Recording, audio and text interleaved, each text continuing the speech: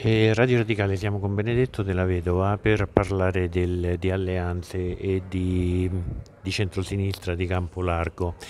Allora, eh, la necessità di un'alleanza di, di, di centrosinistra eh, è quella di avere una gamba moderata o comunque una gamba eh, liberale e lei fa parte di, quest'area. In questa eh, diciamo, area eh, si candida ad entrare anche eh, Matteo Renzi. Abbiamo visto che si è innescato un dibattito importante su questo, eh, diciamo in parte smentito da Calenda che ieri in un'intervista ha, ha, criticato l'azione di, eh, di Renzi. Allora, lei che è diciamo, reduce dalla lista di scopo con Renzi, che cosa può dire di questa, di questa iniziativa e se, eh, e, e se crede a questa, a questa, sfida, perché il risultato delle europee non è, stato, uh, non è stato negativo, avete superato l'asticella del 3% che era un'asticella importante se teniamo conto dell'attuale legge elettorale nazionale. Quali sono le sue riflessioni?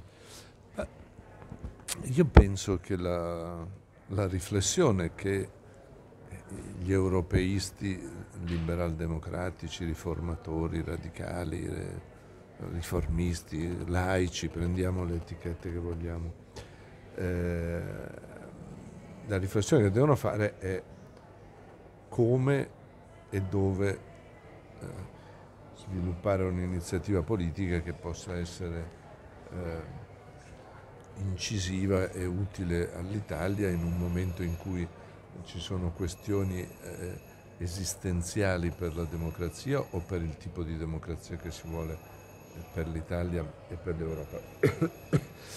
Io ho sempre, ho detto anche di recente, rispetto all'evocazione di un terzo polo, che casomai ci vuole un polo non terzo, cioè un'aggregazione su, su, base federativa di, di, di, comuni intenti come stato Stati Uniti d'Europa che abbia un obiettivo, quello di costruire le ragioni eh, politiche e programmatiche per un'alleanza elettorale con il PD e, gli altri suoi eh, alleati.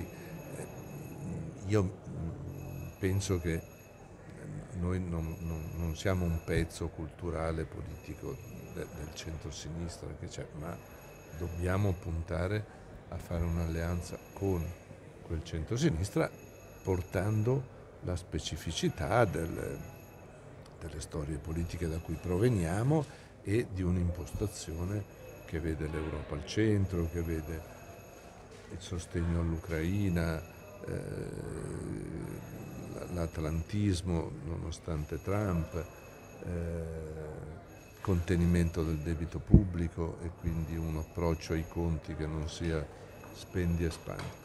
E, e, e dobbiamo lavorare su questo. Ecco, Renzi, eh, non so se sia un velista, io non sono un velista, poi eh, ci ha abituato alle strambate, eh, come questo salto molto netto.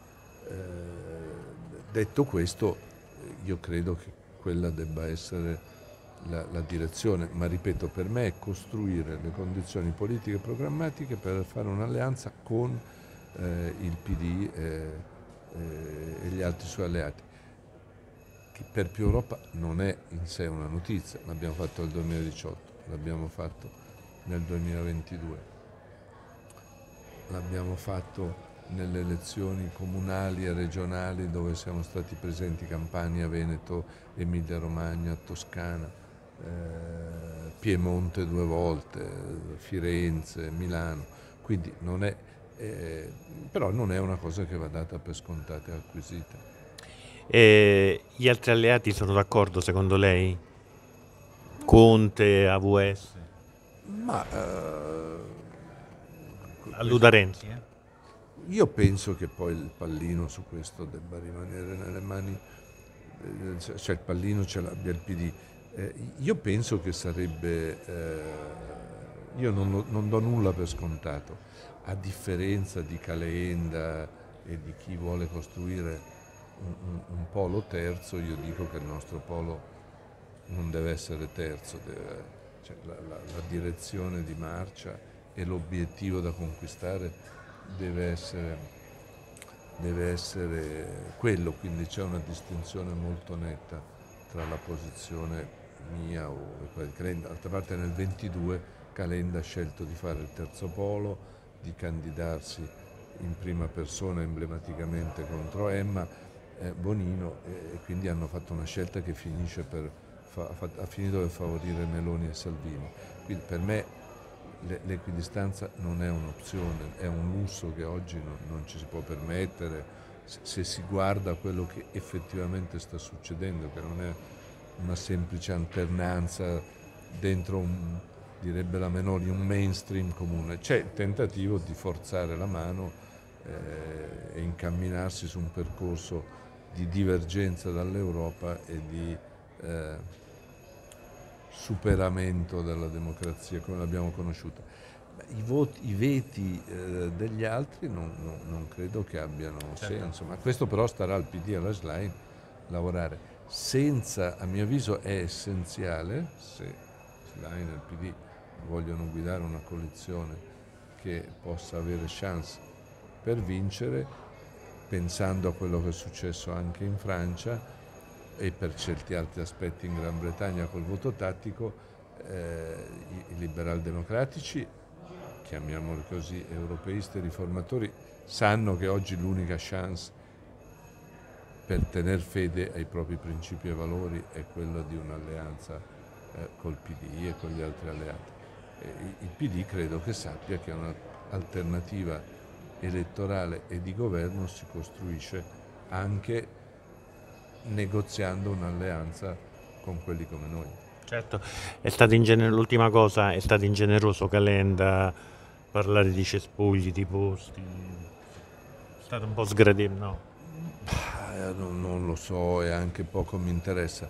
Calenda fece una scelta eh, nel 2022 insieme a noi di alleanza col PD, peraltro loro non c'era neanche i 5 Stelle, poi si tirò indietro, ma io credo che non è questione di dimensioni, è, è questione di prospettiva politica.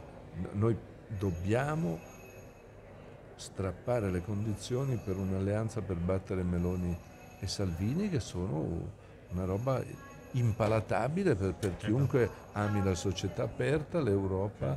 Anche con un voto anticipato? E i principi liberali. Questo non è nelle nostre disponibilità, diciamo, stote parati, anche se diciamo, a breve non mi sembra l'aria. Bene, grazie a Benedetto della Vedova.